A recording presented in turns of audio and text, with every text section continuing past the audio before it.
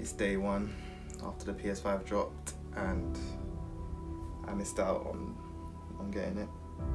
But um, I'm hopeful that I'll get it. so it's, it's now day two without the PS5. So it's now day three, day four, day five, day six, day seven.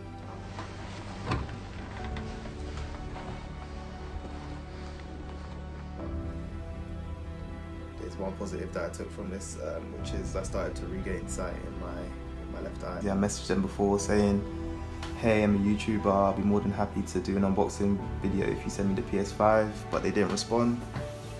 So Okay, what I need you to do for me is cover your right eye, and I'm going to.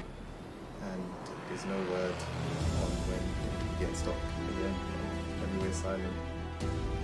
Um, starting to lose a bit of hope now, but